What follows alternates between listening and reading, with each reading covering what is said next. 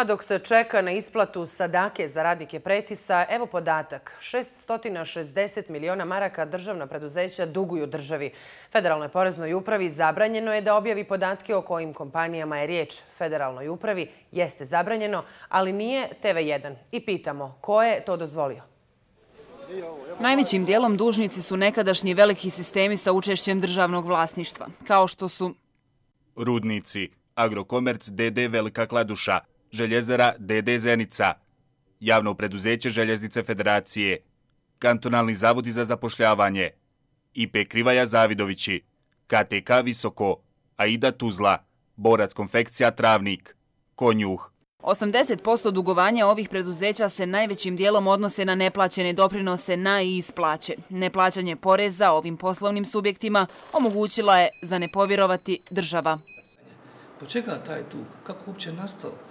Da li to neko tolerso, da li to neko stimuluso, da li to neko ovaj, namjerno dozvolio taj dakle, takav dug? Dakle, apsolutno ne stoje činjenice da je neko bio zaštićen.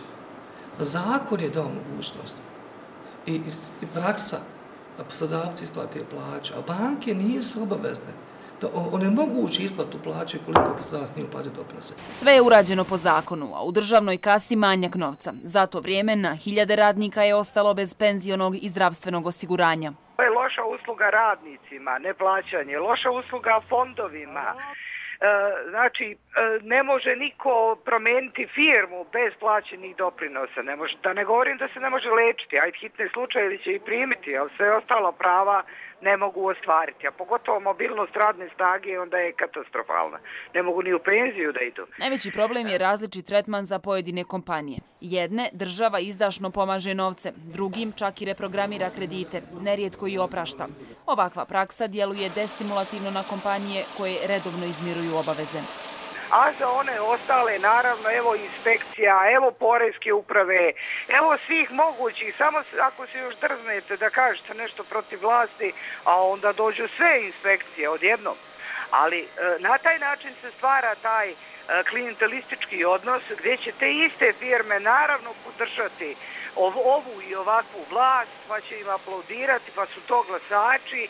Objavljivanjem liste dužnika Bosna i Hercegovina zasigurno ne bi naplatila sve za ostale poreze, pogotovo jer su dužnici velikim dijelom nelikvidne firme, ali bi se automatski onemogućio dalji rast duga i zateznih kamata. Dobar primjer su Srbija i Hrvatska, koje su objavom poreskih dužnika u velikoj mjeri povećale poresku disciplinu u svojoj zemlji. Čini se da je najveći razlog neobjavljivanja spiska dužnika BH firmi činjenica da bi mnogi akteri političke scene u ovoj državi zbog toga završili u zatvoru.